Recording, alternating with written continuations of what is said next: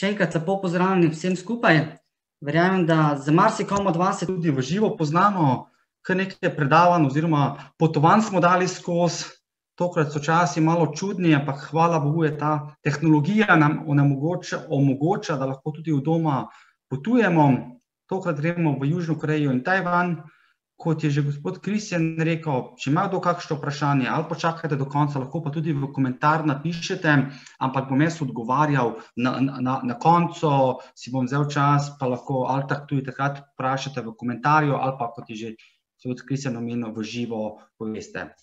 Malo vidim, da je nekdo še nekaj tole napisal, samo da vse deluje. Ok, to je, to je glavno. Kristjan, če bo kakšna tehnična težava, če ste kaj ne slišali, kaj, vi me lahko kar prekinete, pa da bo jaz vse delovalo. Dobro, gremo na moje zadnje potovanje. Ja, ker malo čudno je to, da je bilo zadnje pot leta 2019, eh, namreč lansko leto smo bili prisiljeni ostati doma, tako da sem malo odkrival Slovenijo. Gremo pa v Južno Korejo in Tajvan od 19. novembra do 18. decembra 2019 densko potoval po tej zanimivi, južn, južno, eh, po tej zanimivi azijski deželi. Ta korejski polotok je sestavljen iz Severne Koreje in Južne Koreje, severna veliko bolj zaprta, kar se tiče vsak psič, kaj poznate, lahko greš na, oziroma lahko potuješ po Severni Koreji, ampak je potrebno z lokalno agencijo in si dobesedno skozi na učkah, brez kakšne svobode.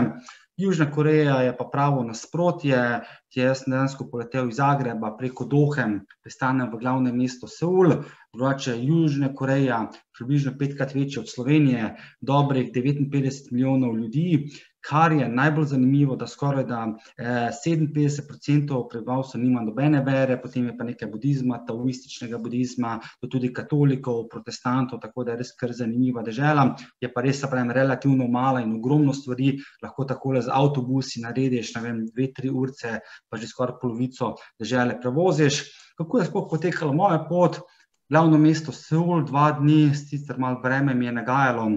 na to grem na zahodno oziroma na vzhodno balo. Prosim, naj mi bo oproščeno, da ne bom govoril imen nekaterih mest, ker je kar precej zakomplicirano, oziroma ne želim, da se bi osmešal za kakšno napačno no, izgovorjavo. Pravno mesto Sokče, tu potem obišem en zanimivi nacionalni park, pa tudi na skrajni sever, zelo blizu meje za Severno Korejo se odpravim če mogoče kdo pozna, je tudi možnost neke ture iz Seula, ko je tudi tako, da greš prav v te hiške, kjer potekajo kdaj pa kdaj pogajanja, ampak ravno takrat je bilo, je bilo zaradi neke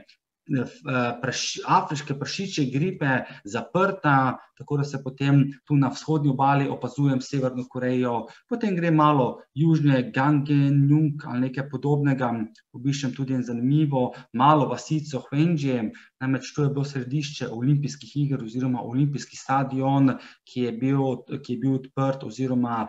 je stadion za, odprt, za odprtje in zaključno prireditev zimskih olimpijskih iger v Pjončjangu,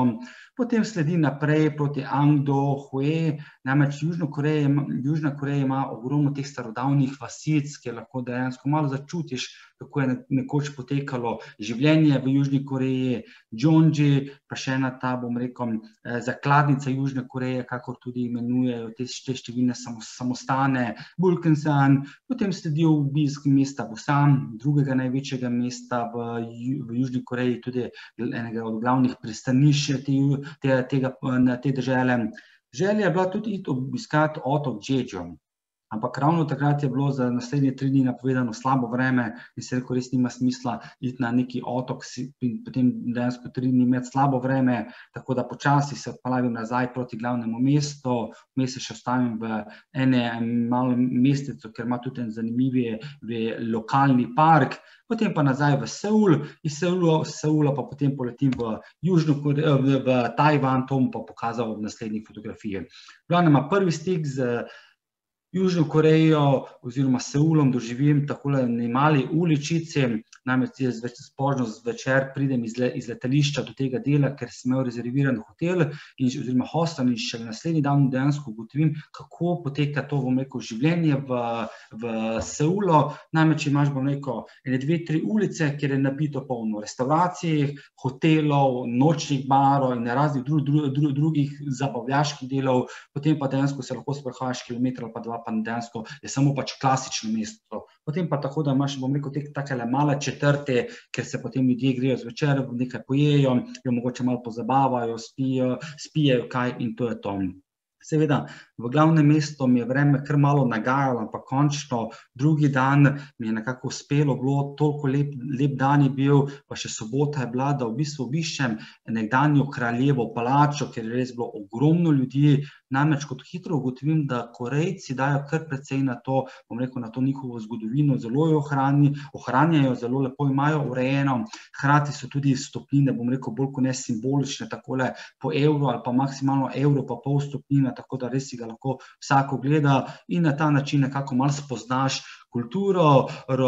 te, oziroma zgodovino Južne Koreje. Meni so bili bolj zanimive te domačinke, pa tudi domačini, vidite, vsi zelo lepo, tradicionalno oblečene. Jaz kot ljubitelj fotografije neizmerno, se pravim, tudi uživam, eh, pa sploh, ko vidiš na eni strani, da ljudje dajo malo na kulturo oziroma na ohranjanje. Kajti v naših, v naših časih oziroma pri nas marsikaj kar malo zanemarjamo, to preteklost, eh, pa se jim mogoče celo kdaj pa kdaj nažalost tudi malo srmujemo, tu pa se pravi, da vidite vse lepo oblečene, zelo rade pozirajo. Namreč južni človeci so kar malo obsedeni, kar se, po, po, kar se tiče zunanje podobe, pa selfijo, to oni ne naredijo ene ali pa dve slike, to so dejansko pa pol ure na enem in istem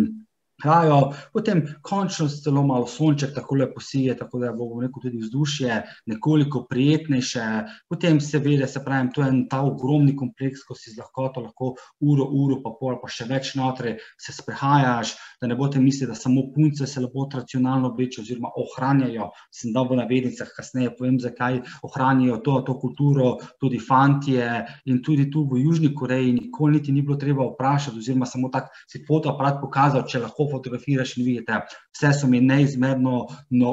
prav pozirale, tudi fantje skrbijo za, za nekdanjo kulturno dediščino, tudi oni se lepo tako oblečajo in grejo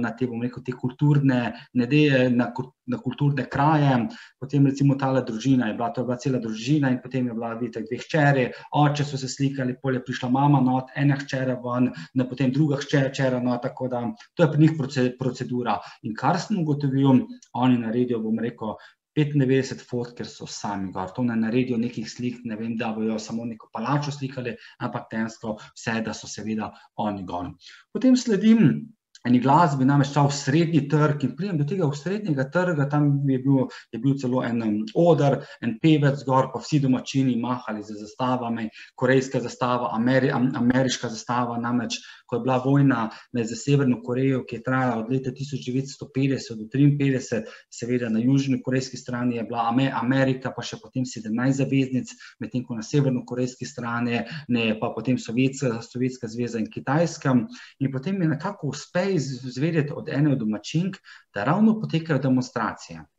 Se pravi, v Južni Koreji, bom rekel, v hostah načeloma ljudje govorijo, pa tudi ti so zelo prijazni, pripravljeni pomagati, ko vprašaš, kam se gre, ampak neki pogovor med, pa je kdaj pa kdaj kar malo težavno. In potem mi pove, da so demonstracije, ker je pač eh, njihov predsednik komunist, z vsakim se kregam, ampak to niso bile neke demonstracije, da bi se vem, ljudje razburjali. Tam so dejansko bili pripravljeni, prav je bil prostor že označen, prišli z takšnimi blazinicami, se usedle, mahali za stavo, on, on pevec je pel in je bilo, se pravi, res eno osebno vzdušje. Jaz sem dobil občutek, da sem bolj kot ne na nekem koncertu, kot pa da bi bil na, ne, na nekih eh, demonstracijah. In se pravi, vse je potekalo zelo, zelo mirno, meni je bilo bolj kot ne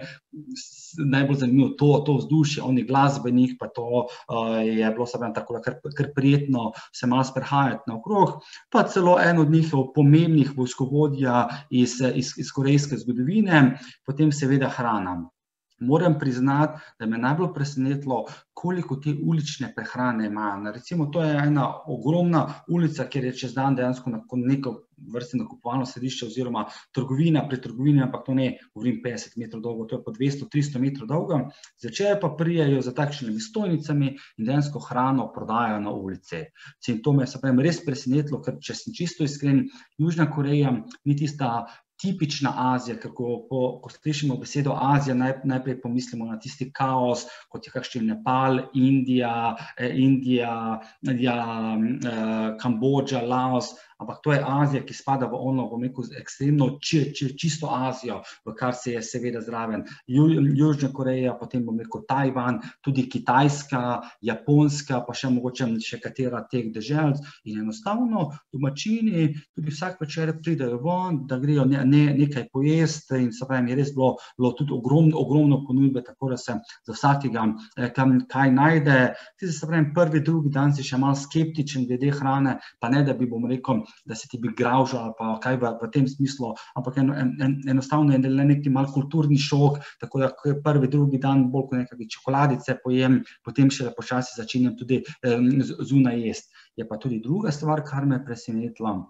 Življenju še nisem videl toliko restauracij, kot sem recimo videl v, Juž, v, Ju, v Južni Koreji. Jaz sem potem srečal kasneje eno, kaj že bila ek, um, Ukrajinka, ko študira že ne vem koliko časa v Seulu in je rekla, da v Južni Koreji ni normalno, oziroma je posebno normalno, da greš ven, jes ni v običaju, da si boš hrano doma, doma pripravo in to je potem nekako sklepam, da je res toliko restauracij, kot je, da, se, da vse, vse nekako laufa, ker pri nas je finančno nerazumljivo, da bi dejansko vsak dan um, na hodu, oziroma na vsak obrok hodo jaz ven. Mar se kje imate, potem vidite tako celo malo na slike, naslikano, kaj pač naj bi ta obrok hrane ne predstavljal, ker sploh prvi, drugi, tretji dan rabiš, da se malo, bom rekel, tudi eh, na, navadiš, eh, navadiš na neke druge okuse. Bom pa tudi kar iskren bil, južnokorejska hrana mi nekako ni najbolj sedla. Se pravi, pa ne, da bi bila pekoča, pa kaj drugega, ampak enostavno okus mi ni najbolj deloval, tako da mi je bilo potem recimo na Tajvanu hrana hrana, bom rekel, pač, pač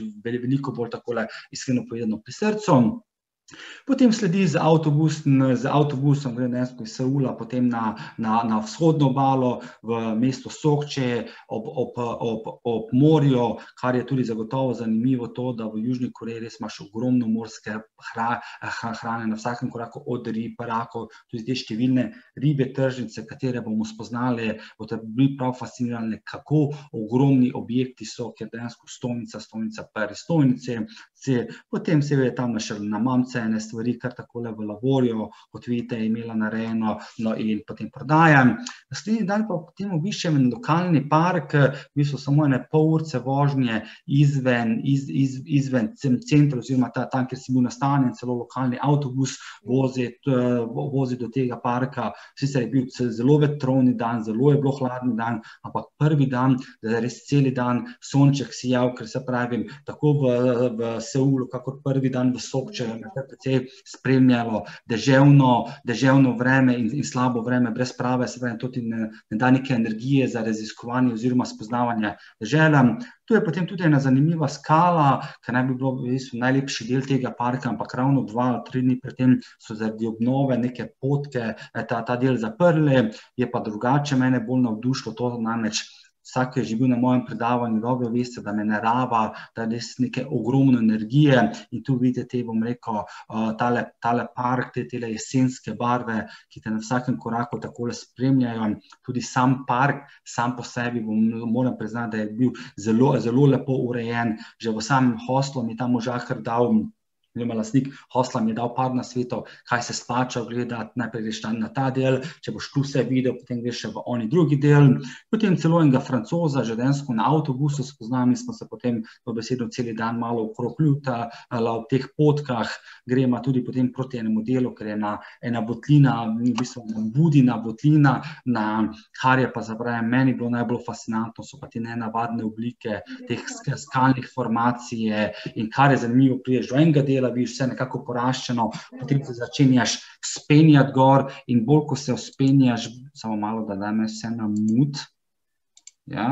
ok, malo moteče je, ja, se takole uspenjaš gor in z tem spenjanjem, oziroma bolj, ko se dviguješ, bolj se tudi recimo ta park začenja takole pogled pred teboj razširiti, veliko dlje v daljavo vidiš, kar je pa tudi res, domačini dajo ogromno, bom, bom rekel, na rekreacijo, to so vem, te viš, te lokalne domačine, ki tudi ogromno hodijo, ta park je tudi možno za veš na večdnevni trekking, ampak v tem primeru potrebuješ eno posebno dovoljenje, hkrati pa tudi moraš ali prenočišče imeti rezervirano, ali pa tudi celotno opremo, opremo, da boš tudi prespal v tem parku, jaz dejansko nisem imel te, tega namena, ampak takole samo enodnevni izlet, vidite, kako se prav pošteno dvigneš, da priješ do te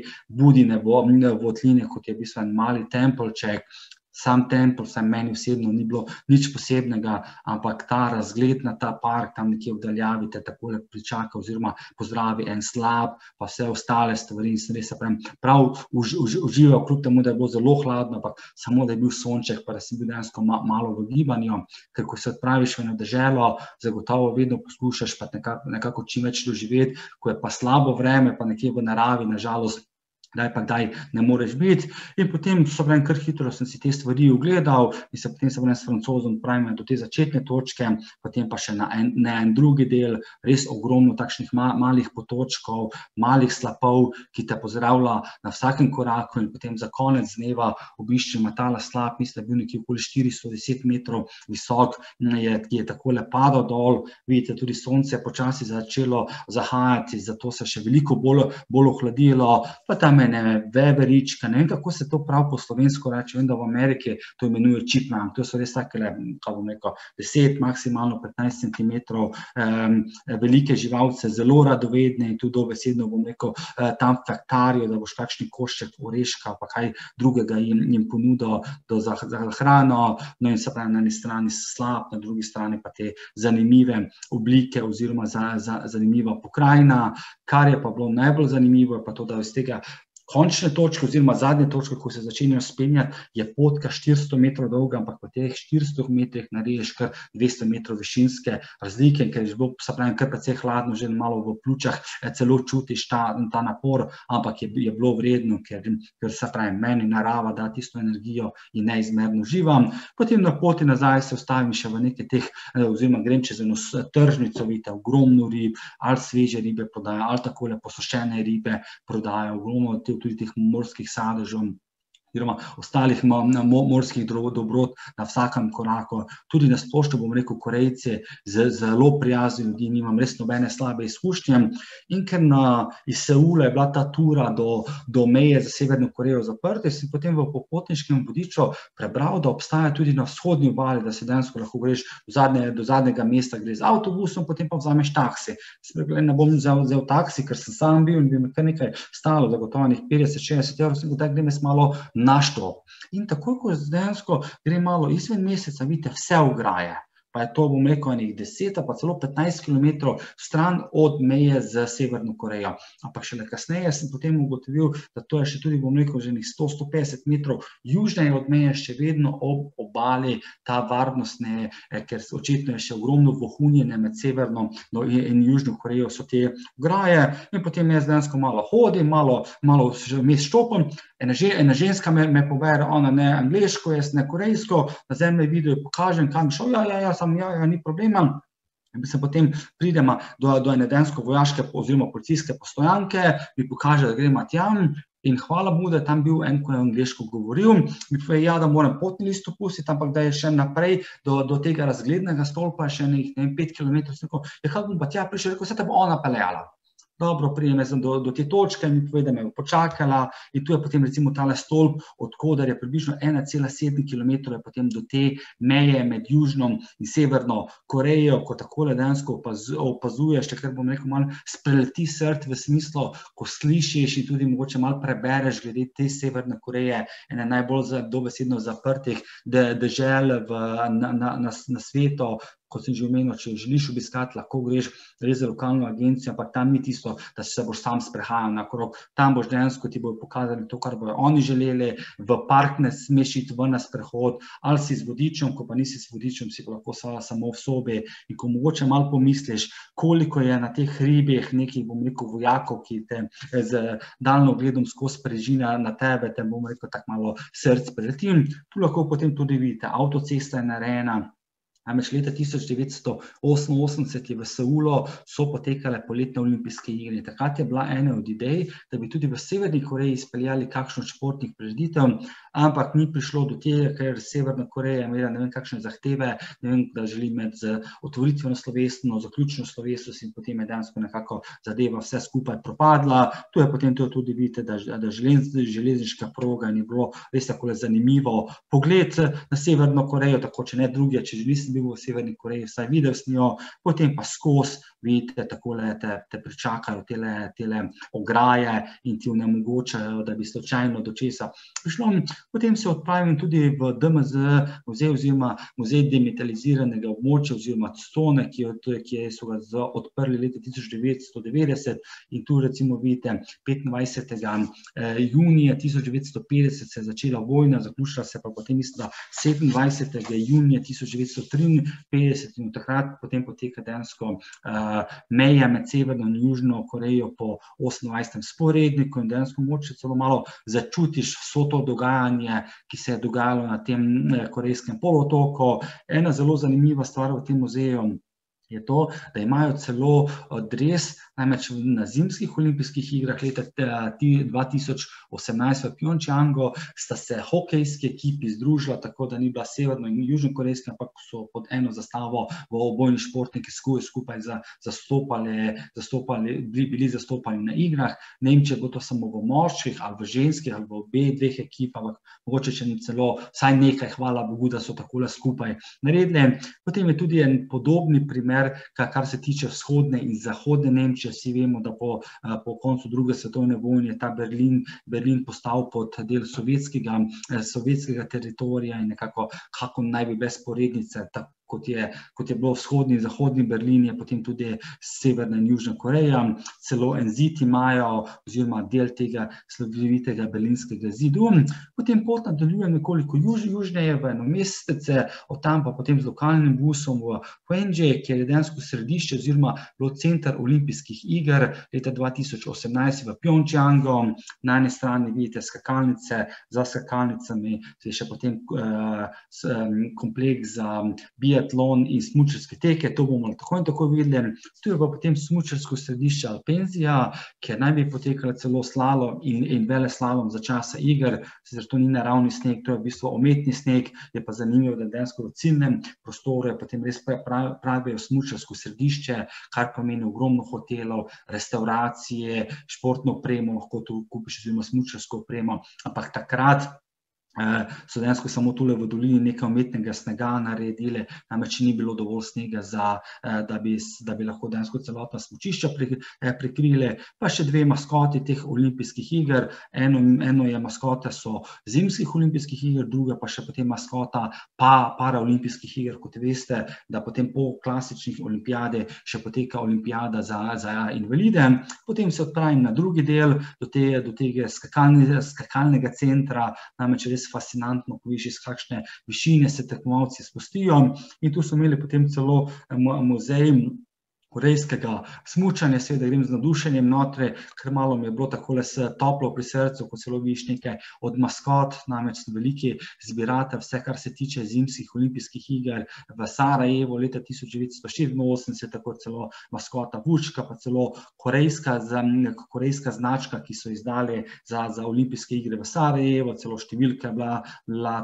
štartna številka, tule na vrhu lahko dejansko vidite potem nekaj, kar se tiče olimpijskih iger v Lake Placid, do štiri leta pred Sarajevskimi olimpijskimi igrami. Potem pa sem vprašal, če je kakšna možnost, da greš na vrh, na te skakalnice, in seveda pomoli en list, ker je bilo vse v angleščini razloženo, da imaš dve možnosti. Ena možnost je, da greš samo na vrh, od koder je dejansko restavracija, druga pa, da še vzameš turo na skakalnici. S tem, ko ne bo čisto dovolj samo, da grem na vrh, potem pa, ko pridemo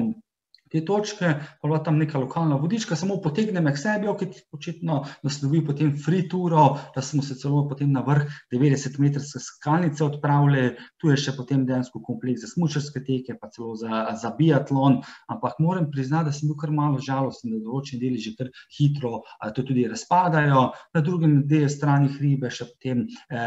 se steza, steza za bob in sankanje in to je, se pravi, ena velika težava, kar se tiče olimpijskih iger, za časa iger se troši ogromno denarja, namenjeno je za, namenjeno se, za, se nameni za igre, po koncu igre so pa tudi ogromni stroški, da vse v ta kompleks tudi ohraniš, bom, bom, bom, bom rekel, da, da, ne, da ne začenja do da ne začenja prehitro propada, propada, to je ta Alpenzija, slalom, vele slalom, tule v zadju še pa potem tudi proga za, za super vele slalom in, in smuk in je bilo, se pravim, res zanimivo pogled iz te, iz, iz te olimpijskih skakalnic. Malo naprej so dejansko za, za smučarske teke, tukaj pa vidite zaradi strelišča tudi eh, za, za, za biatlon. In se pravim, meni je vedno, če se le da, če sem v kakšni državi, kjer so nekoč gostili olimpijske igre z veseljem, če seveda možnost obiščem tudi tam te, te komplekse, potem grem tudi do teh eh, olimpijskih vasice, kjer so športniki za časa iger, eh, iger stanovali in res se pravim, danes so potem to preuredili v luksuzne apartmaje oziroma v nastanitve. In kar me je najbolj fasciniralo,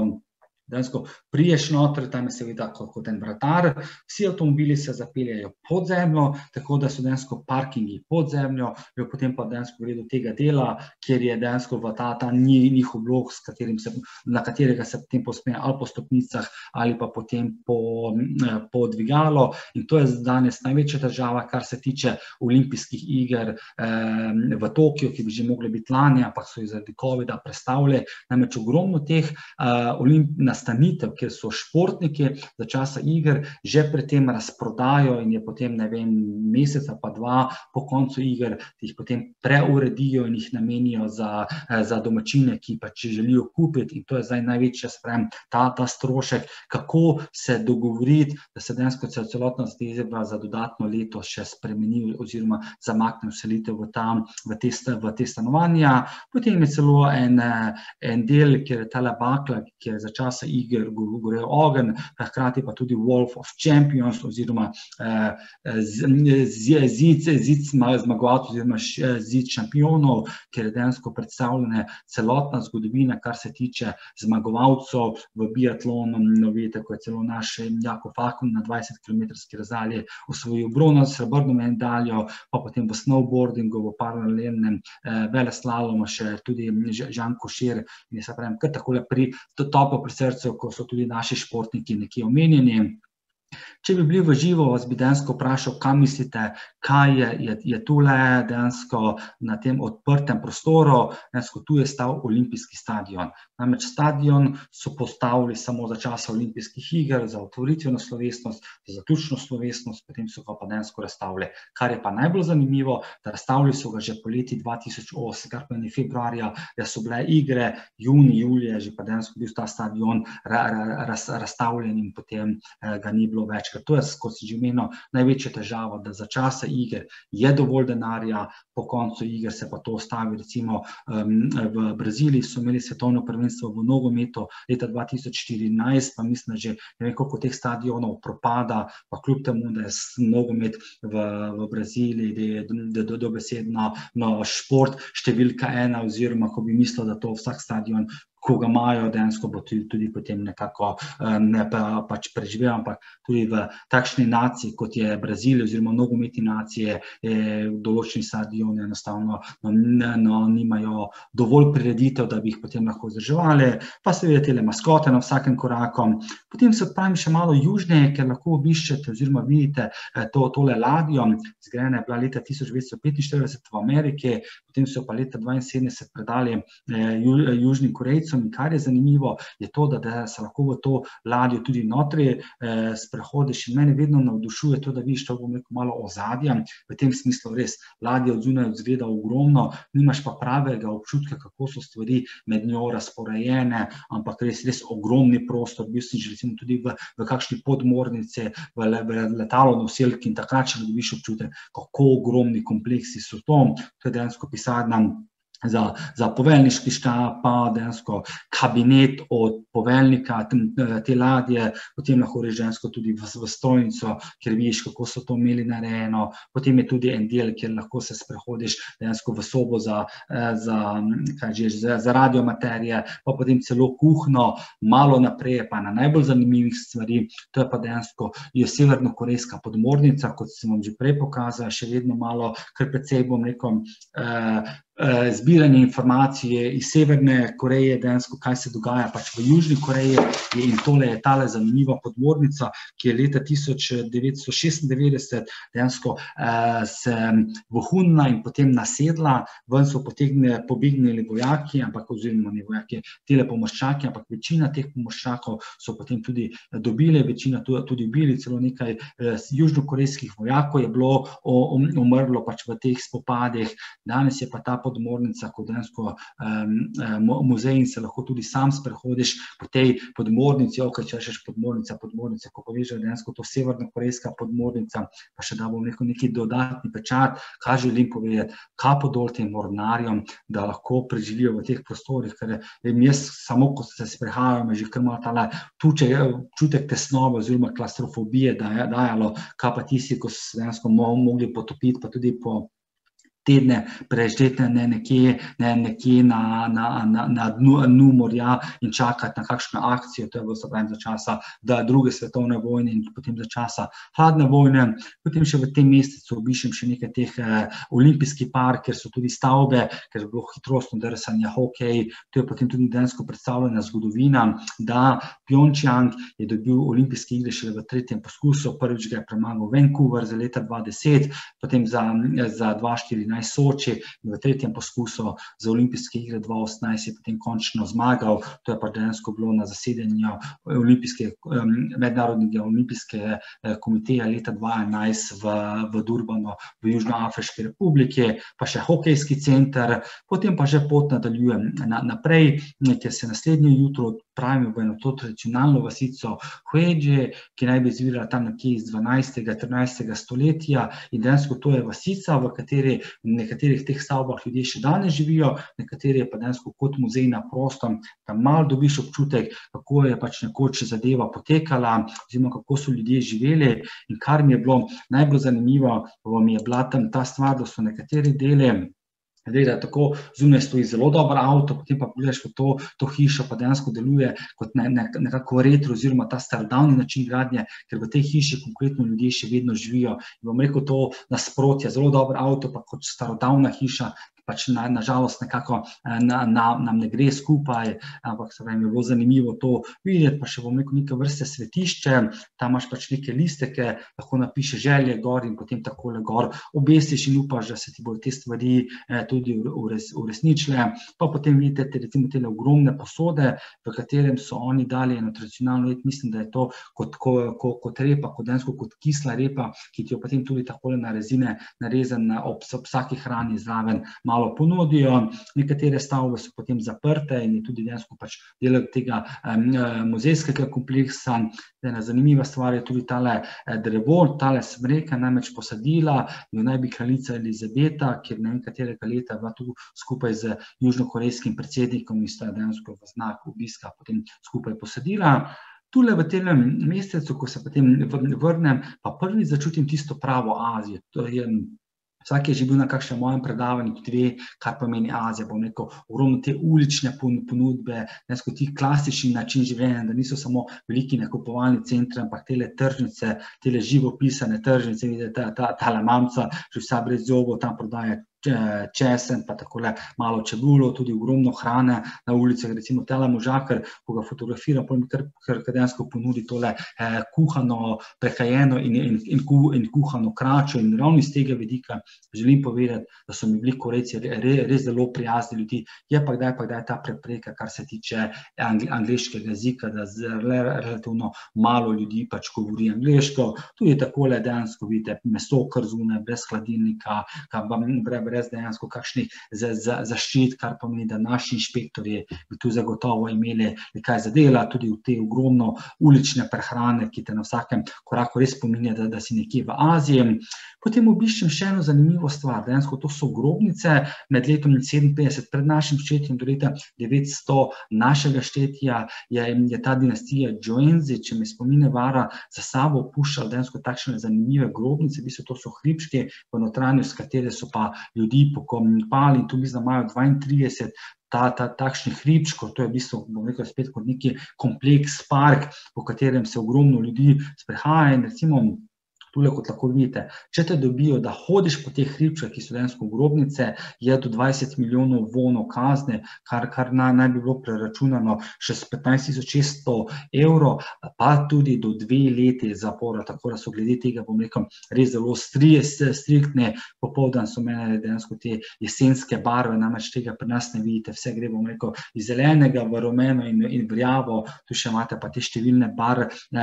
barvna maurica in te spravi mene to zelo navduše in kar je zanimivo, ogromno domačinov gre v te komplekse in vidite, kar delajo, tam se slikajo. To je pač številka ena oziroma najpomembnejša stvar v,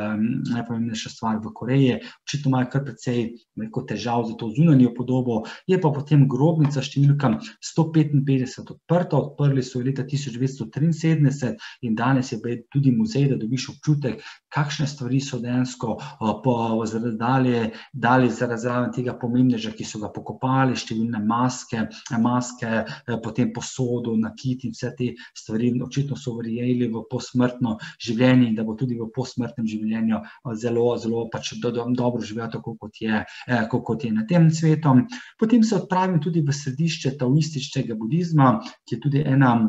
od, od, od ver v, Južni Koreji, kar je bilo zanimivo, spet te zanimive jesenske barve, po, po, potem sta te, bom rekel, ne, neka, um, kako bi to prav se izrazil, kot neka vesolska voščaka, ki dejansko varuje ta, ta, ta kompleks pred, bom rekel, negativnimi vplivi, in te takole prečaka, ta preden stopiš v ta, v, v ta kompleks. En del je že betonski oziroma narejen iz, iz, iz kamenja, drugi del, ta tale resen pa naj bi bil eden najstarejših delov v, v, Juž, v Južni Koreji in kar pogosto dejansko oni uporabljajo, to so zakladi južno, južnokorejske zgodovine, še številne bude, ker imaš tam budistični, taoistični budizem, budizem namreč kar precej teh er, različnih vej, vej budizma, ki so se pravim res vse lepo urejeno, veliko krat so tili zelo zanimive dejansko poslike, po, poslikave v teh samostanih oziroma templih, pa tak, takšne lampiončke, kar je pa bilo meni najbolj zanimivo, so pa te jesenske barve, ampak ne samo meni, vidite, vsi dejansko grejo. Zelo malo ljudi ima tam fotoaparate, pa uravno nas imajo uh, selfie, uh, palčke in se potem dejansko dobesedno hodijo, uh, samo da se, da, da se zraven tudi fotografirajo. Ampak se, ne, jaz nisem bil najboljši, največji ljubitelj tega, tako da bolj kot ne uživam v teh zanimivih uh, jesenskih barvah. Tu so potem celo neko stanje prodali, zanimivo, dejansko to je na moje roke, kar dva kostan kar želim pač povedati, da so res bili ogromni, neko sem, ne, ogromne neko stanje. Pa še tam ne, ne, neke ličinke so prodajale, dejansko malo so bile kuhane, vsak je želel, so bom rekel, v, ta, v takšno papirnato vrečko dal in potem so, so to nekako jedli. In ko se v bistvu, se pravim, v Južni Koreji, kar se prevoza tiče, so res zelo, zelo dobro ure, urejeno, vse skupaj ogromno, imaš teh avtobusov, seveda, da je pa, da je moraš iti malo prestopati iz ene linije na drugo linijo. In sem potem, jaz sem, ne bom rekel, 200 metrov hodil, ko sem se vrnil iz tega samostana in grem mimo dela, tam je, ta, tam je bila neka glasba in potem srečam tega le, le strice tam. In kar je bilo najzanimivo, kako je dejansko on izžareval to, ne bom rekel, neko zadovoljstvo, srečo in potem plesal tam zraven v tej glasbi in ravno to me bom rekel najbolj navdušilo. Sledil obisk Busana, drugega največjega mesta v Južni Koreji, hkrati pa tudi zelo, zelo pomembno pristanišče, ogromno teh ladij, ima spet, bom rekel, mi je kar malo slabo vreme nagajalo, ampak ne moreš pač nič in takrat sem izkoristil, da se malo sprehajam po teh tržnicah. Tržnice so pa, bom rekel, tudi moja specialiteta, kajti se mi zdi, da na teh tržnicah nekako malo podoživiš, kako ljudje živijo. In tu je tudi, se pravi, ena ogromna tržnica, bom potem malo kasneje boste dobili bolj občutek. To je dejansko dolgo, tudi 50-60 metrov stavba, dejansko takole se vije en del na, na dveh delih in to je dejansko potem nekje pet ali pa celo šest takšnih vrst in to v dveh ali pa celo, celo v treh nastrojih stropih, samo morske dobrote, morske ribe, raki, škorke, dobesedno, da ni. Tu je bila potem ena, bom rekel, za mene kar precej kruta zadeva, kaj bil je namreč tale, tale, ali so to morske. Eh, kače ali je guljalka, ta možakar je dejansko imel neko špico za pičo na vrhu notri, seveda te, te živali so bile žive, odr, ko je vdr kožo dol in jih vrgel tule sem na kup, tako da so danes te živali še, še migale zraven in te, bom rekel, kar malo, malo stisne, ne, ker Marsikje v Aziji ali pa v Afriki so pa živali, dobesedno samo živali, sploh vidite, kako ravnajo z kuški, kako s kakšnimi drugimi stvarmi, to, kar so pri nas domači ljubljenčki, pa marsikdaj boljšo hrano jejo kot pa mi. Sami potem številne tele posušene, eh, po, po, po, posušene školke in dejansko takole izgleda ta tržnica. 50-60 metrov dolga in dejansko ena, v eni etaži je pa dejansko takole po 6, 6, 6 vrst, 2, 4, 6 in to so dejansko potem 3 nadstropja, ta, ta, ta, takšne ribje tržnice, tako da enostavno te res bom rekel fascinira. Potem še en malo, malo starejši del, vidite tule neke alge, alge prodajajo, pa hrano očitno mora biti tudi z, z, zelo, zelo, zelo peko, pekoča, vsaj sede, sedeč po, oziroma glede na te barve, deluje, ampak kot sem že rekel, meni južnokorejska hrana nekako ni bila glih nas najbolj pri srcu, enostavno sem se kdaj pa kdaj šlepal, šlepal v smislu, da si šel jesti v McDonald's, ker tam pač enostavno veš, kaj dobiš, res hrana ni na, najbolj zdrava, ampak ko potuješ, je hrana zelo pomembna, ker če nisi nasiči način, potem imaš energije in imaš voljo, ko si pa se pravi, da se, se pač fajn naješ, potem imaš več energije za raziskovanje kraja. Potem celo obiščem v tem Busanu, kot se že kot drugo največji mesec, skoraj eno uro smo se z busom vozili, sem prišel na nedela, ker so zelo lepe plaže, očitno to v poletnih mesecih, zna, zna biti nabito pol, polno, takrat je pa ravno potekalo nekom azijski, azijski summit oziroma neka azijska konferenca, tako da je bilo ogromno policije, en sončni zahod sem tam nekje v daljavi videl. Naslednji dan se pa odpravim dejansko nad posanene pol urce hojem, da prijem do enega kompleksa oziroma enega dela, to so pa tekele barvne hiške in kar je najbolj zanimivo. Takom ta del so zgradili tam nekje v 20-30 letih pešnjega stoletja, da so ljudi, ki so živeli pri v okolici pristanišča preselili v ta del, hkrati so še pa vedno bili, bili zaposleni v, v, v tem pristanišču, hkrati takrat se je celotni pristanišče kar pre, precej razširilo, pa še malo tega večernega utripa, ko sem daj kaj pojedel, najmeč ogromno hrane, tako da sem tudi na ulici jedel. In, in kar je mogoče najbolj zanimivo, danes se kar malo nasmejimo, vsi se družijo, vsi so brez mas, namreč takrat je bilo še to nekaj posebno normalnega, danes smo si, če vidiš nekoga takole skupaj, dva skupaj, skupaj, brez maske, se ti že zadeva kar precej malo čudno zdi, pa še malo očitno sive ekonomije, deluje, deluje tudi cigarete, parfume pro, eh, prodajajo v tem Busanu. Eh, in kar je zanimivo, v Busanu je ogromno Rusov. Se sprehajam na okrog, nekaj meni začenja nekaj spraševati, dejansko vprašam me je, toliko pa če je relativno podobne ta, ta, ta ruski jezik, če je, kje je tu v bližini najbližji bankomat, ampak mu enostavno odgovorim pač po angliško, da nisem, da, da pač nisem Rus, očitno se pravim, deloval deloval mi je, edini sem deloval, mogoče malo, malo podobno Rusom, zato me potem vprašam. Potem, ker nisem šel na otočje Džedžo, se odpravim v naslednji kraj, nekje na pol poti proti Seulu in tu spet, tam, tam je bilo spet neki del ne, nekdanje kraljeve plače, spet vsi zelo lepo tradicionalno oblečeni in tu šele potem ugotovim, da to ni del ohranjanja kulture, ampak obstajajo saloni, kjer si sposodiš obleko in to ljudje delajo in potem kaj grejo, grejo ven in se fotkajo. Se pravim, to je procedura, to si vzamejo čas, to je uro, dve, tri, na, pa tak se slika, pa dva, ena kolegica slika, da drug, druga, druga pozira, pa z tega kota, onga kota, tretjega kota. Tako da, če si ravno v nekem delu, kjer čakaš, da boš tudi sam na eno fotko, moraš imeti ogromno potrpljenja, ker se pravim, res, kar se selfijo tiče, oziroma to, da se bo sami slikali, si pa koreci vzamejo čas. Potem je ta lastnik hosla, ki je eden od redkih, s katerim smo se tudi kar precej pogovarjali, ker, do, ker je govoril dobro angliško, svetoval en, en lokalni park, v katerega sem lahko dejansko prišel z avtobusom. Tu je med drugim celo en tempelj iz 16. stoletja, v okolici so še pa dejansko takšne ma, male, male hiške, oziroma pač mali tempelčki, kjer imaš potem še številne tele bude in druge stvari. Ampak najbolj fascinanten mi je bil en del, ko je bilo, če ni bilo tam enih 100 ali pa celo, celo 200 takšnih malih budic, nekatere, te bom rekel, te kar malo stiste, tako še kar malo creepy face, oziroma že, že malo kar strašljivo jih je bilo za pogled, ampak bi bilo zanimivo, kakšna količina na teh budic je bila na enem delu. Potem pa sem se dejansko odpravil na, na en pohod, eh, pohode sem šel dejansko na goro, 795 metrov visoko, se potem dejansko na drugi strani spustil dol in potem tam z avtobusom nazaj v mesto, ampak želim povedati, v Južni Koreji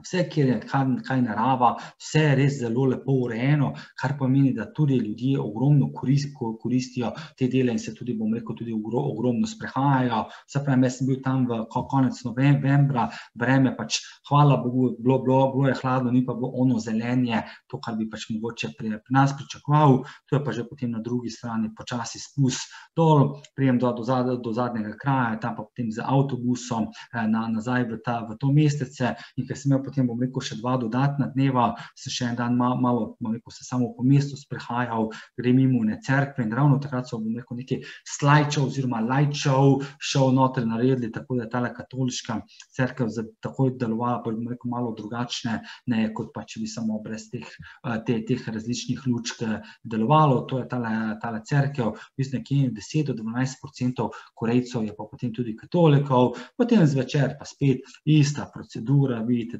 domačinke pridejo, najamejo obleko in potem gremo delati selfije. In kar je zanimivo, nekateri že imajo stative, ampak to niso težke stative za fotoaparate, ampak to so stative za telefone in tako se potem pravim pozirajo in iz tega vidika vidiš, da je ogromno, bom rekel, nekako na zunanjo podobo, da je pa kdaj mi še same malo pozirajo, da je pa kdaj seveda samo všečnost in se pravi, to vidiš, da dajo ogromno na to, ker enkrat sem ravno se nekje z avtobusom peljal,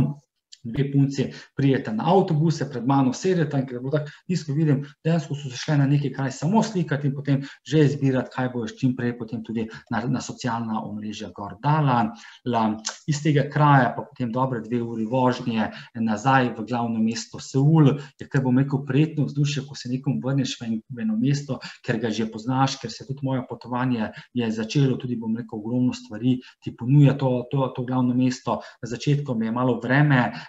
vreme nagajalo, to, kot je bilo, hvala Bogu, veliko lepše, številne te pa kraljeve palače, nekdanje kraljeve palače, ker imajo te, te, te straže oziroma menjave straže, potem bom rekel na eni strani nekdanje kraljeva palača, na drugi strani pa neka zelo moderna, na, mo, mo, moderna zgradba, tako da se, se pravim, staro pa novo se marsikje kje prepleta. Potem seveda imaš ogromno neke, neke znamenitosti, ki si jih naj bi ogledal, ena od teh je tudi viadukt. Namreč ta viadukt so zgradili leta 1970 in ga niso dejansko uporabljali, zdaj so ga pa dejansko spremenili v park in se imenuje Seolo lo 2017. Zakaj? Izgrajen je bil dejansko leta 1970, visok je 17 metrov, leta 2017 so ga potem preoblikovali in danes vidite, se sprehajate naokrog, malo, malo so drevesa posadili in je, če ne druge, se vam tako malo zanimivo vzdušje, ko veš, da je to nekoč bil viadukt, danes pa ne vem, takole peso, malo parka malo zraven, potem tudi malo lepši pogled, kdaj pa kdaj na, na, na samo mesto, na kaos prometa, glavna železniška in, in avtobusna postaja v Seulo, potem spet tale nočna tržnica, tam, ko si že prej bil, zakaj to tole kaže. A vidite, kaj imajo narediti?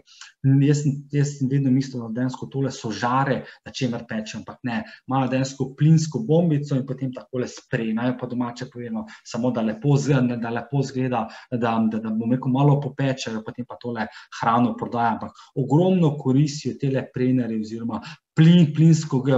da na plinsko malo, malo zapečejo zadevo zunaj, potem spet demonstracija, kljub temu, da bo to sredi tedna, spet ogromno ljudi, tam muzika, vse zelo mirno, kot da bi bili na koncertu, oni, oni mahajo z, z, z zastavicami. Potem še en zelo zanimiv del v Seulu, namreč leta 2003 je bil ta del, koliko sem jaz razumel, da naj bi bila tu nekoč cesta in so dejansko je bilo to zaprto. Takrat so pa potem odprli in naredili zdaj park in kar je dejansko najbolj zanimivo, se takole sprehajaš, lepa drevesa, potok, kdaj lahko vidiš številne ribe, pa še da, da kakak ptičiče, na drugi strani pa vidim, bom rekel, ta betonska džungla in ta kanal oziroma ta park je dejansko dolg en, en, ne, v bistvu 11 kilometrov, Potem grem celo mimo enega bovšega sejma, ima kar precej pest, pest, torej bilo, kaj dejansko prodajajo. Na eni strani veš, da je Južna Koreja, je spada, zdaj bom rekel, gospodarsko zelo razvita, BDP je zelo visok in si ne bi, bom rekel, pričakoval ta, ta takšnih bovših sejma, ampak očitno tudi to je prisel v, pri prebivalcih v Seulu nekaj vsakdanjega. Potem grem mimo enega dela, tam je bil možakar, prodaja bankovce in ker se tudi sam malo numizmatik, tam gledam bankovce Potem enkrat ga ugotovim, da ta možak ni samo bankovce prodaja, ampak gospod ima tudi prostor, še kakšne tabletke zraven enemu prodal, tako da pač uradno je, je prodajal bankovce, zraven pa še kakšno drugo stvar, tudi v Seulu je potem zelo podobna ta ribja tržnica, o kateri sem vam že, že densko že prej pokazal, ista zadeva, po šest, tako, oziroma tri takole dvojne vrste, tri, štiri nastropje, običajno pa v najvišjem nastropju potem tudi restauracije, se pravi, to je cel, celotni del etaže, restauracija pa vse, vse na bito polno, tako da morska hrana je res pri južnokorejcih zelo razširjena oziroma zelo pomembna, glede na to, da ga vdajajo, jo morje tudi nekako, nekako razumljivo, da maksimalno izkoristijo te, te okolje, ki ga imajo. Potem, kar je precejšna težava Južne, opala, Južne Koreje, vidite, telefoni, telefoni, telefoni. Že pred leti sem slišal, da v Južni Koreji obstajajo klinike za odvajanje od telefona. Ko to vidiš, to dejansko ljudje res skozi bulijo v sam telefon. Zadnji dan v Seulu pa potem izkoristim, da se odpravim, odpravim proti delu, ker je bil olimpijski park, tudi se pravim, vsi ti parki, sicer zdaj je bilo zaradi, zaradi začetka decembra pač vreme, vreme tam takšno in takšno, kot je bilo, ampak na splošno vse zelo lepo urejeno, urejeno pač tam, da imajo možnosti, da se stvari, stvari ogleduje, da se dejansko sprehajajo, tu je pa ta, ta olimpijski spominski park, ki je posvečen poletnim olimpijskim igram leta tisoč devetsto oseminosemdeset pa, pa tale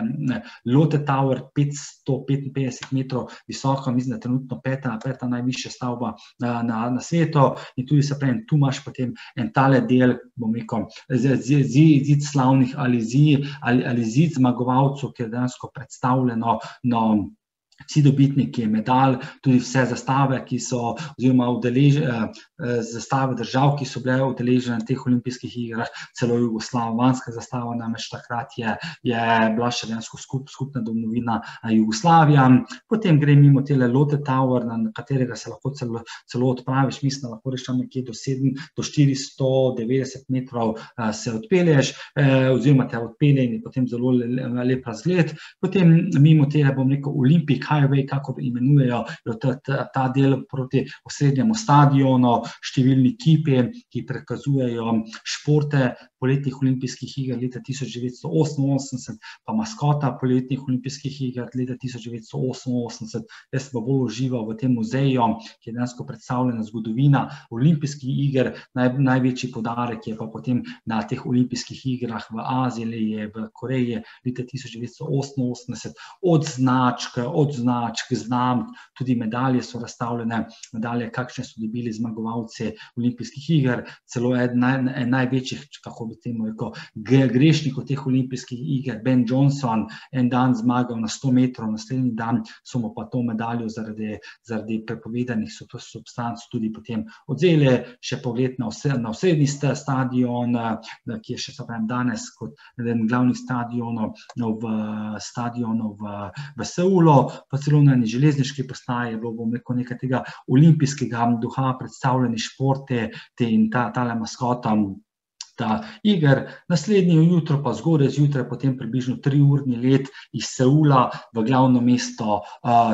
Tajvana, Tajpej, drugače bom rekel, tale otok, bistveno manjši, še od Južne Koreje, nekje ena cela osemkrat večji od Slovenije, dobrih osemindvajset milijonov ljudi, in kar je najbolj zanimivo, življenje poteka, bom rekel, bolj kot ne samo okrog, to je avtobus, vlaki vozijo, da boš pa rekel, da boš nekaj takole prečnico naredil, tega pač na žalost ni. Prve dni preživim v glavnem mestu spet, ironično, kar precej slabega vremena, tako da en dan izkoristim, da obiščem ena dva slapova, slap Šifen in potem Zlati slap, potem obiščem Hualin, kjer je ena zelo zanimiva soteska Taroko, Taroko, potem z z vlakom na drugo stran na Tavšong, iz Tavšonga potem z lokalnim busom v San Moon Lake oziroma eno zelo zanimivo jezero, ki se dejansko imenuje Sonce, jezero Sonce in Lune, potem Čiaje, bom rekel, nič zanimivega mesteca, ampak od tod se potem lahko z ozko tirno železnico popelješ v nacionalni park Ališan, ki je največjih zakladov Tajvana, hkrati pa ima številna na drevesa, za konec pa potem samo v Kaušom, drugem največjem mesece, odkudar potem poletim nazaj, nazaj v Seul, še za eno noč, potem nazaj domov. In kar je bilo najbolj zanimivo, tako ko prijem v Tajvan, nekako neko se zaljubim na prvo žogo v njega, veliko bolj bom rekel tisto azijsko, tudi kultura je nekako zmes med japonsko kulturo in kitajsko kulturo, nekoč so namreč bili, bili Japonci tu, danes pa Kitajci, tudi hrana se mi zdi, da nekako zmes med japonsko je med Japonsko in Kitajsko, ampak to, da ni tako pekoča, kot je recimo, oziroma pikantna, kot je znana, v, kot je znana na Kitajskem. Celo nekaj svastike tam prodajajo, siva ekonomija se mi zdi, da v Tajvanu veliko bolj deluje, je pa tudi res, da temperature so bile veliko bolj prijetne, prijetne, tudi bom rekel, bolj tropsko vreme, tako da je bilo veliko, veliko več, veliko več zelenja. Tu je potem en taoistični tempelj, namreč nekje okoli trideset procentov je taoističnih budistov, potem budistov, protestantov, je namreč vera očitno v, na Tajvanu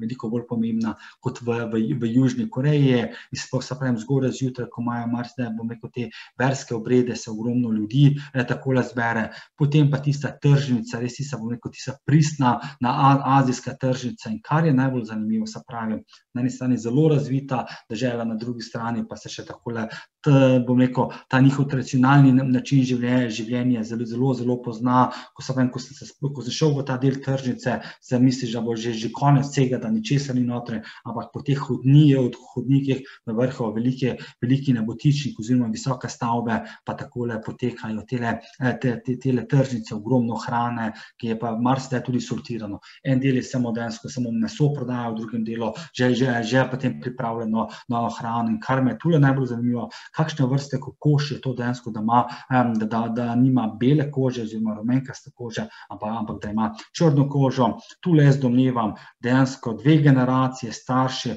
otroci prodajajo ribe in dejansko od, od tega lahko celotna družina potem živi. Potem je zelo zanimivo versko gibanje, eh, Falun Dafa ali nekaj podobnega, se bom še potem kasneje, imam to celo eno sliko, namreč ogromno daje se mi na meditacijo, pa na, na ta, ta del, hkrati se pa dejansko na ta način, na, pa, pa, pa preko te meditacije upirajo Kitajcem, ki so dejansko nekako lebdijo na, na, te, na to deželo oziroma na ta otok Tajvana. Tu je tudi spomenik temu, temu nekdanjemu pomembnemu vojaškemu, vojaškemu vodje, namreč to je Kitajec, ki je dejansko na tej, tej, v tej deželi vladal od leta tisoč devetsto petinštirideset do leta tisoč devetsto enainsedemdeset, dva, dva, dvainsedemdeset, ko, ko je, ko je umrl, in tu imajo potem seveda njegov spomenik, vsakodnevno prihajajo. Jaz sem ravno imel srečo, da sem prišel malo pred to kraljevo, to, to stražo, namreč na vsako uro pa pol se dejansko ta, tale straža menja in je res ena bom rekel, posebna slovesnost, ko vidite, kako dejansko vrtijo to,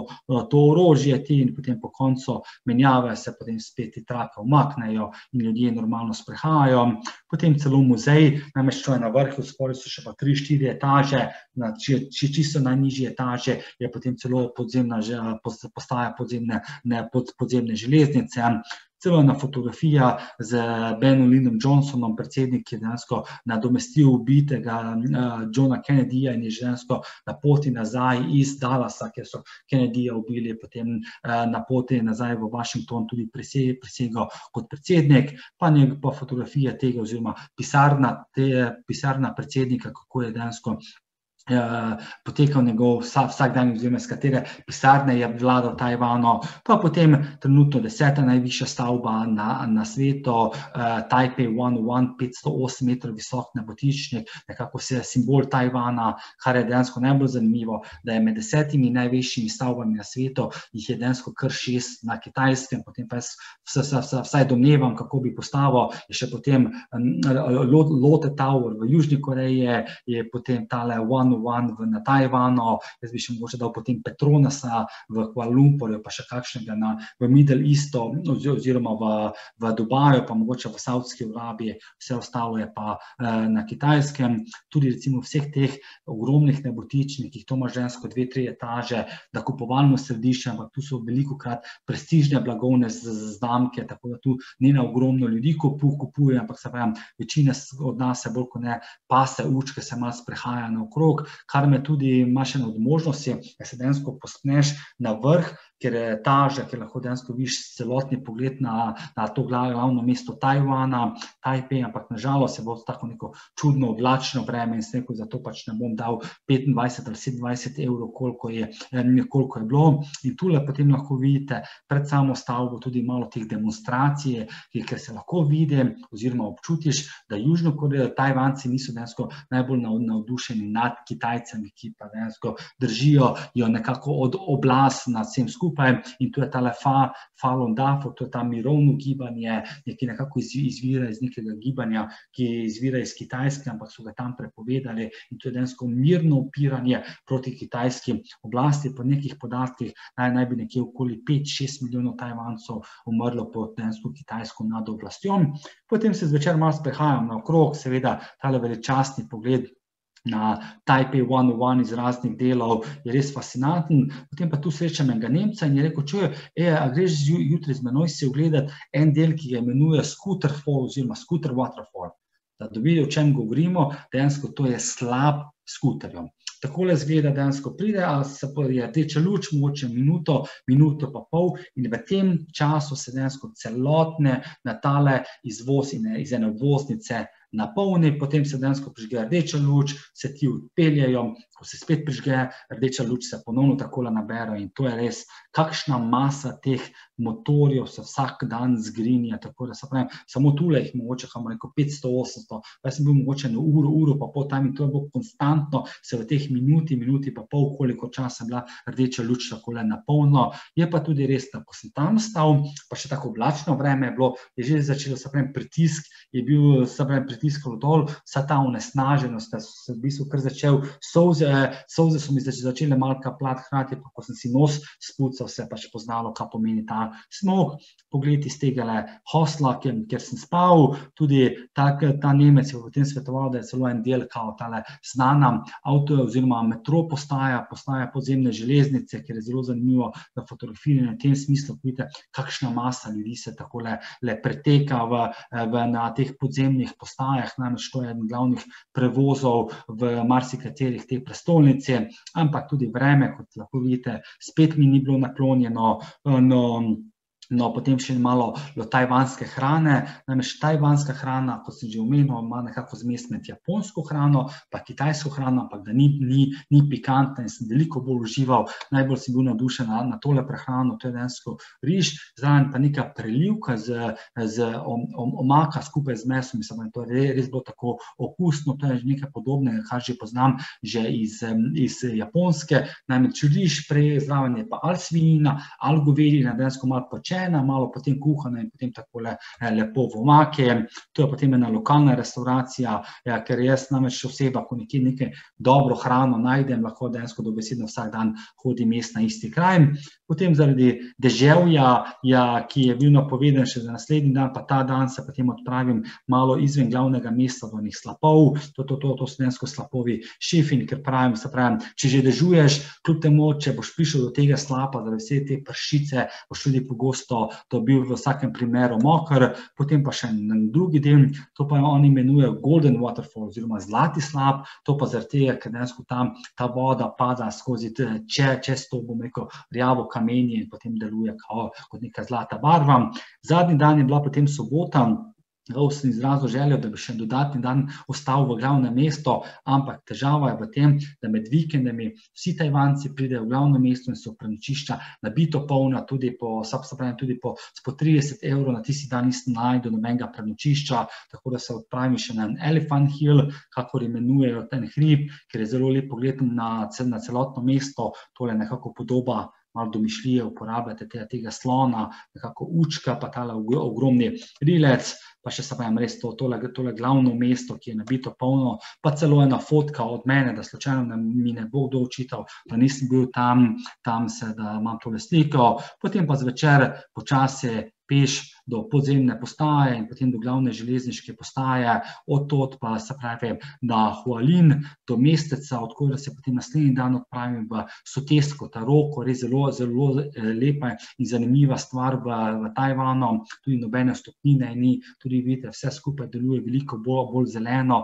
no veliko bolj se pravi bujno rastave in se potem malo spreho, sprehajam, tu imaš potem različne potke oziroma trejle, glede na svoje želje se potem odpraviš, tu je bilo se pravi ta uradni del konec, vem, da bi se še lahko nekje uro v hribe odpravljal do, do neke vasice, ampak se dejansko od, od, odpravil nazaj, kar mi je bilo zanimivo, so bile tele, bom rekel, sk, eh, kako pač vidite, kako so se v tisočletjih, milijonih let dejansko te, ta lava, ko je bruhala, kakšne oblike teh kamenjev, eh, kamenjev je za sabo puščala. In kar je zanimivo, se timo te soteske, lahko se ali, ali najameš skuter in se potem za skuterjem odpraviš, ampak ravno problem je bilo v tem, da nisem imel mednarodnega vozniškega dovoljenja, strani sem potem malo avtobuse koristil, malo potem štopal z ene točke do druge točke, se pravim, Tajvanci tudi, vsaj za moj okus, govorijo boljše angliščino, pa tudi nekako bolj topli so mi delovali, bo, bo bolj prijazni nekom, kot, kot Korejci. Tu je potem en eh,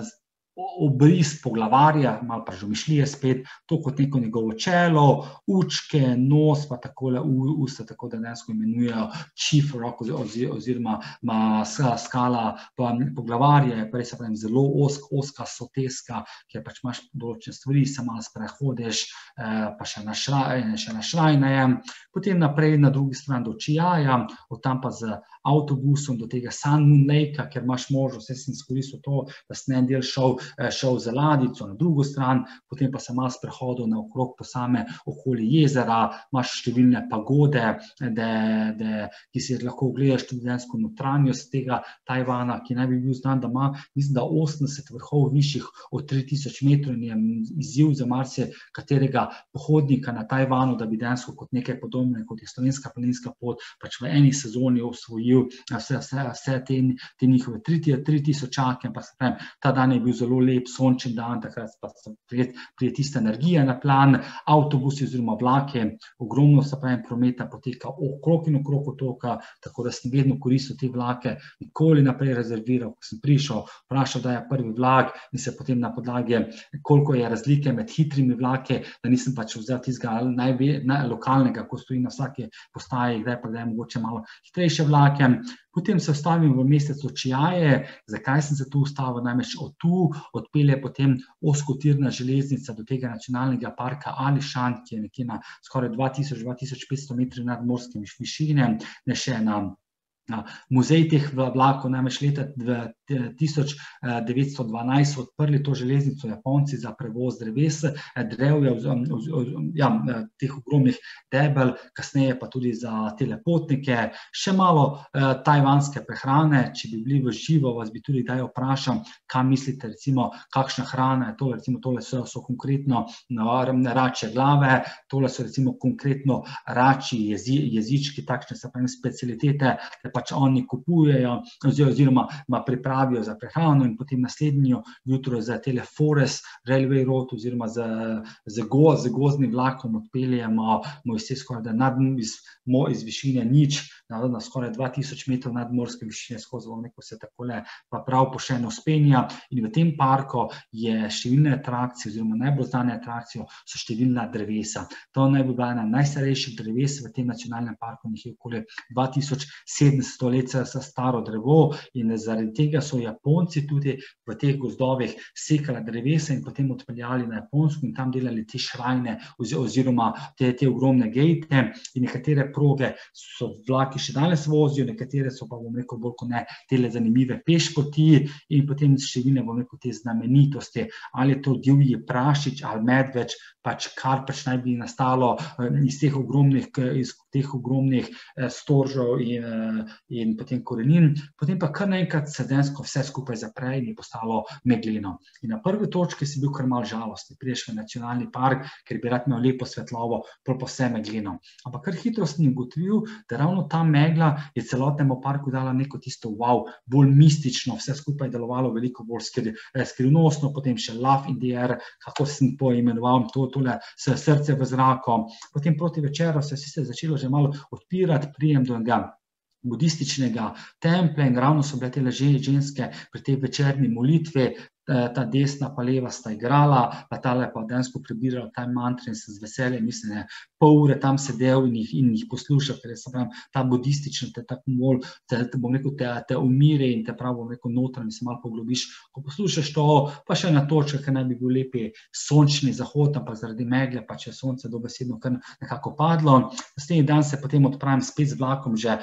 pred peto uro se zbudil, sem šel potem z vlakom do te razgledne točke, sicer to ni sonce, to, to, je, to je luna, na, v tem času, ko smo čakali na sonce in potem, ko ti sončni žarki po, eh, pokaže, kar samo slišiš ti se z glasove, oh, bilo, ne vem, kaj vse skupaj v glavnama, se pravi, eh, te azijska kultura, vsi telefone, vsi se tam slikajo, jaz veliko krat pravim, kakšne te znamenitosti, res si jih ogledati, mogoče si kasneje razočaran, ampak boš, da si ogledaš, pa ugotoviš, da ti ni bilo zanimivo, ko pa da nisi šel, pa se še potem vedno obremen oziroma razmišljal, to, o, tako blizu sem bil, pa si nisem potem ene teh atrakcij ogledal. Potem dopolne še malo sprehod med temi drevesi, nekatere so samo tisoč let stare, ti so največji, smo že videli, nekje 2700 let in ta dan je bilo sapem potem lepo vreme, ampak še takrat sem ugotovil, da prejšnji dan je tisto mistično megla, vse skupaj delovalo veliko bolj skrivnostno, pol pa za konec potovanja po Tajvanu, na Kaohsiung, Kaohsiung, ki je drugo največje mestece na Tajvanu, tu je potem en moderni, ne budistični kompleks, to naj bi bila Buda, visoka 108 metrov, ampak kasneje smo govorili, da ne to kot Buda, ampak dejansko celotni kompleks, ki je tega štiri nadstropje, je pod zemljo tudi vse skupaj narejeno. Tu je pa bo recimo temperatura 16 stopinj Celzija, tako da se tudi v kratki majici pa kratkih hlačah sprehajajo na okrog. Tu je potem celo ena primerjava, namreč kako debela drevesa so bile, to je očitno del neke te drevesa iz Ališana, so podrli, pripe, ali pa prenesli sem in potem dejansko cele, tele, bom rekel, cele celi del dejansko budističnih menihov ven izklesale, potem celo Ferrari je očitno, je tudi kar precej Tajvancov premožnih na ozemlju, kot sem že rekel, 1,8 krat večji od, Slo, od, od Slovenije, mi pa se vem, te ulič, uličice, temperature je že bila veliko bolj prijazna, samo tudi ljudje so mi veliko bolj, se vem, nasplošno bolj toplo delovali, in potem je še ene Lotoso, Lotosovo jezero, ki je densko umetno jezero, katerega so uh, dokončali leta 1951, potem imaš tule, tule Tigrovo in Zmajevo pogodo, pagodo, tule imate celo ene are, malo kasneje boste videli kaj več o tem, pa en del, del imate densko, ki je densko tako kot neki utoč, toček, na njih 200 pa nekaj 50 metrov dolga, um, tako le most in potem priješ uh, do tega tako malo, malo večji del in ti tu naj bi pač bili taoiste, taoistični bogovi. In kar je bilo zanimivo, že prej sem skozi poslušal tele are, skozi, skozi so se tam priletali in očitno se enkrat na teden ti vzgojitelji, rejce, teh ar dobijo in potem postijo te are, da se dejansko razletijo oziroma da letajo naokrog in potem jih dejansko ali spiščali, ali samo po imenu pokliče in pridejo do njega in je bilo zanimivo na začetku, ko sem vprašal, če lahko eno primem, to so mi dejansko kar na roke dali, tako da sem celo nekaj teh portretov naredil. Sicer tega možaka, jaz sem polo vprašal, koliko stane ara in mi je zatrdil, da je 20 tisoč dolarov. Na enem od teh prejšnjih predavanj mi je celo nekdo rekel, da v, v Sloveniji prije ARA nekje okoli 2000 evrov. Tako da mogoče sem jaz na robe razumel na mesto 60 tisoč um, tajvanskih dolarjev, da sem jaz potem zastopal še, še, še 600 tisoč, da mi on na robe ne pove tako, da se pravim, če ima kdo ARO, naj mi približno pove, kakšne imajo cene. Pa še ena lepa skulptura, uh, to je dejansko del skoraj 2600 kvadratnih metrov veliko površino, no to so zgradili leta 2009, ko so bile tu svetovne az, azijske igre in to je spet, se pravi, ena kupola. Ne, podzemne železniške postaje, zgrajene s nekje okoli 4000 eh, malih eh, steklenih oziroma steklenih delcev. Ogromno ljudi prije tu, dejansko spet selfie, kraj, oziroma kjer se grejo slikati, da to pa let samo nazaj proti Seulu, namreč imel sem povratno karto uh, Zagreb, Seul, Zagreb, vmes še pa potem lokalni notranji let vzel. Potem, ko se vrnem nazaj v Seul, je pa bil šok v smislu, namreč bilo je samo nekje okoli 2 stopinji Celzija, iz 26 na 2 stopinje. Potem obišem še en del, katerega sem na začetku izpustil, namreč celotni Seul je razdeljen, bo rekel, na neke četrte, ker naj bi si pač kaj, kakšne znamenitosti ogledal. Tu je potem ena stavba, takrat, ko so odprli leta 1985,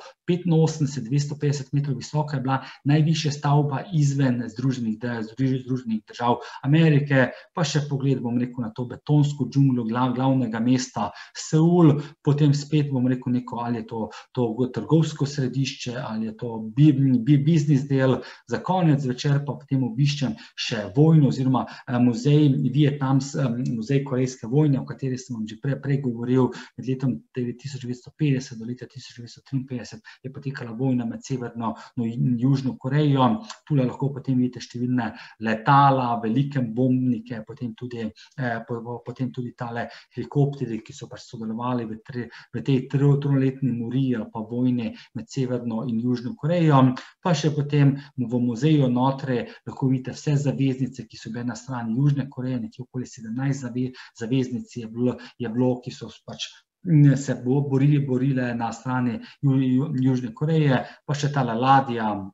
Vidite, celo napadena je bila, te, te, te pobarvano so dejansko lukne oziroma odprtine od, od, od, od sela, potem pa še isti večer let nazaj proti Evropi in te moje potovanje po Južni Koreji in Tajvana je bilo konec, vse skupaj bom rekel kar malo neplanirano, največ v originalu bi mogel iti v Avstralijo, ampak sem teden dni pred odhodom mogel odpovedati zaradi zdravstvenih težav, potem te stvari z zdravjem uredil in en, eno, en četrtek vem, da sem dobil od zdravnika potrdilo, da lahko grem na pot naslednjo sredo, pa že potem odletel na potovanje po Južni Koreji in Tajvanu. Upam, da sem vam malo prikazal to moje doživetje iz teh dveh dežel, Južne Koreje in Tajvana. Samo tole, preden vam dam besedo, celotno tole malo več kot mesec dni dolgo potovanje, letalska karta, vse denar za tam, še potem notranji let iz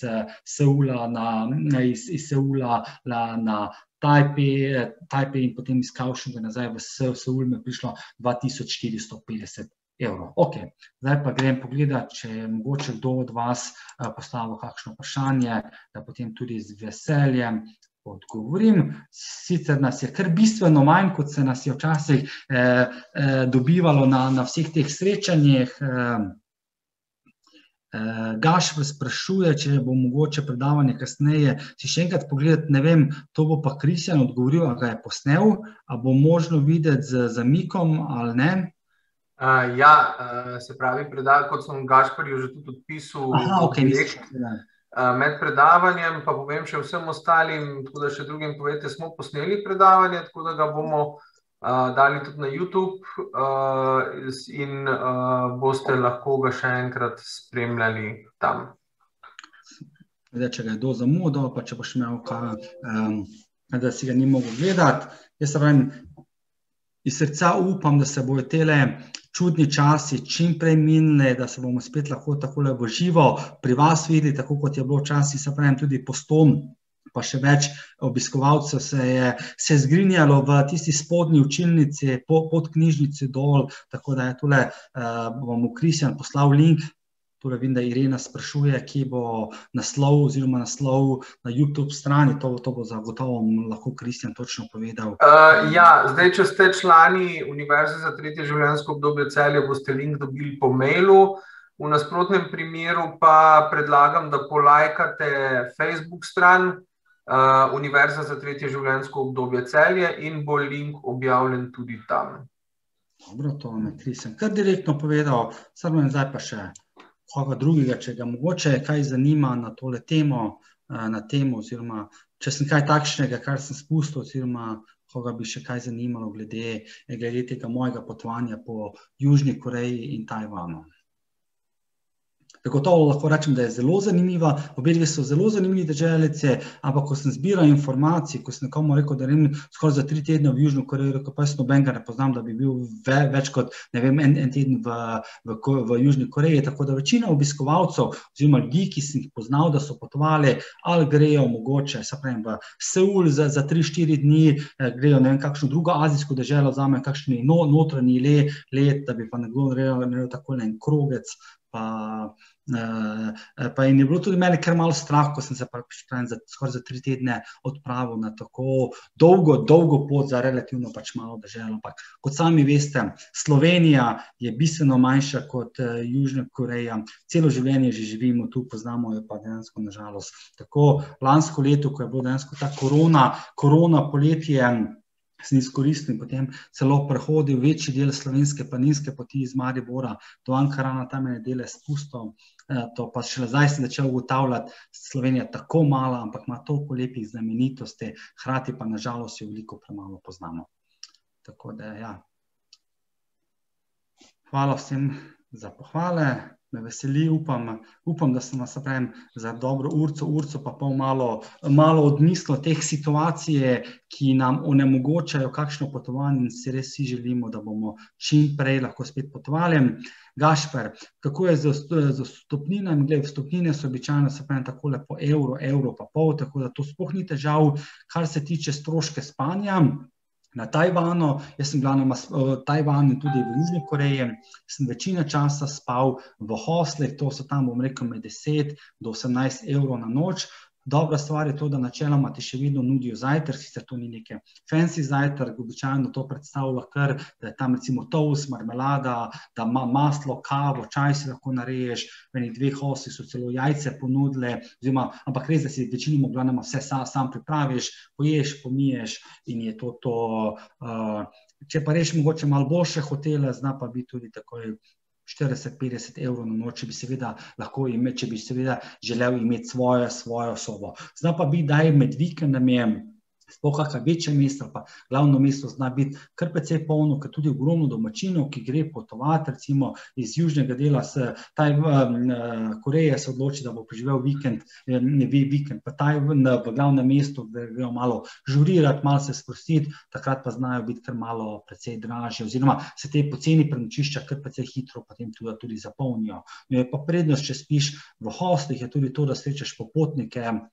sta podobno misleče, da se malo pogovarjaš, malo deliš ti svoje popotniške izkušnje in zato se tudi jaz večino časa uh, spim, uh, spim v, v teh hostlih. So pa res hostli načeloma tako in tako postelja, imaš na hrbtnik notri cel dan, pa tako in tako nekje se okrog sprehajaš, po mesto raziskuješ, hostel je pa samo takrat, ko dežuje ali pa recimo zvečer, ko priješ spat, uh, spat in potem preživiš noč v sobi je to, samo malo še pogledam. Kristjan, se mogoče kako vprašanje e, spustil, samo malo še tole. Ne, jaz sem spremljal, ni bilo od tega okay. vprašanja naprej nobenega. Zdaj, če boste še kakšno vprašanje, lahko ga tudi, se pravi, zastavite preko mikrofona, odprete mikrofon ali pa ga napišete. Bi pa jaz izkoristil, dokler nas je še nekaj na kupu, da se Zoranu zahvalim v imenu Univerze za tretje življenjsko obdobje celja za zelo zanimivo, zelo strnjeno, bogato predavanje. In pa seveda hvala vsem vam, ki ste bili danes z nami. Mogoče bi samo na tem mestu še večkrat napovedal, tudi da veste, se boste dobili še po mailu, kaj nas čaka v prihodnjih dneh, tednih. Čez en teden, 1. marca, bomo organizirali spet na takle zoom način interaktivno predavanje in delavnico, eh, na kateri bosta prisotna dva psihologa z naslovom, delovnim naslovom, kako se soočati eh, s čustvenimi in psihološkimi stiskami, ki jih prinaša karantena. Eh, čez 14 dni, 8. marca, pa bo profesorica Darja Povše um, predavala o aktu v slikarstvu. Tako da to sta naslednji dve predavanji. Um, zdaj pa je še mogoče kakšno vprašanje za Zorana. Ja, Irene, še in, in kako je z varnostjo v hoslih? Se pravi, kar je večina teh oslov, ima recimo ali v sobi, ali pa nekje tam, ko je skupni prostor, imajo male lokarje, tam se pravi, jaz to vedno, kak je računalnik, kak je objektiv, ki ga ti si dan nisem uporabljal, sem ga tam notri zaklenil, drugače pa načeloma nisem imel neke slabe izkušnje, so velike nahrbnike, ker imaš oblačila, pa te stvari notri, pa tudi načeloma, se mi še nikoli, vsaj ne, da bi vedel, da, bi ti, ne, da ti bi nekdo pač šaro oziroma ma, poskušal si kaj sposoditi od tega. Ker bom rekel, večinoma časa, tako in tako so v teh hosteh isto misleči popotniki in smo vsi na istem, tako da nisem imel še nekih slabih izkušenj, da se bi mi kaj v hostu zgodilo. Jerma, A imate v kratkem še kakšno predavanje, upam, da lahko rečem, če mogoče kaj več zanima, lahko tudi spremlja mojo Facebook stran Tisoč in en korak od doma, pomišlja iz Zoran Furman in tam tudi objavljam vsa, vsa ta predavanja, ki so tudi drugače javno, javno, javno se odvijajo. Ker hvala Bogu, da imamo te, to možnost, da se tudi preko spleta malo vidimo in bom rekel tudi sam,